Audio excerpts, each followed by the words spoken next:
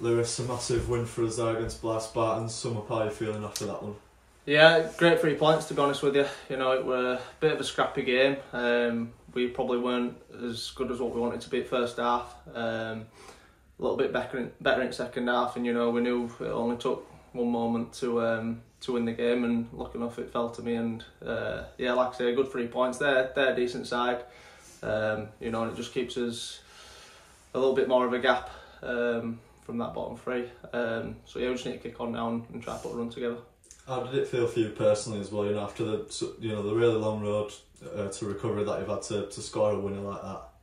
Yeah, I mean it's great. I've I've obviously had a frustrating season. Um, spent a lot of time on sidelines watching. Um, can't thank Gaz enough, physio, for looking after me, um, putting a lot of his own time towards me, coming early for training, uh, giving me treatment, making sure I'm right. Um, and obviously spent a bit of time out on loan, which were good. Go get some fitness, get some games. Um, you know, and I've come back in, feel good, feel sharp. Um, so yeah, obviously it's great to get a winner like that uh, after only coming back a couple of weeks ago. Yeah.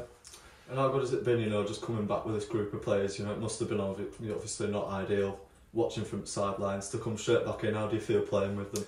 Yeah, good, great set of lads. You know, everyone's working hard together. Um, no bad eggs. Um, and yeah, like I said, we've had a good season. We've had a really good season. Um, you know, and like I said, we just need to get a run together, push push on, and you know, see where it takes us towards the end of the season.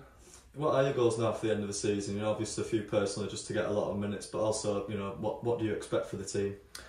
Uh, main thing for me personally, stay injury free. Just see see how, how many games I can get towards the end of the season. Um, and like I say, just keep churning results out. Um, we, we don't want to look in over our shoulders end of the season. Um, we want to be playing last few games with, with no pressure, go out and enjoy ourselves. So like I say, just another game Saturday, tough one away at Kings Lynn, but we'll go down there confident we can go and get three points.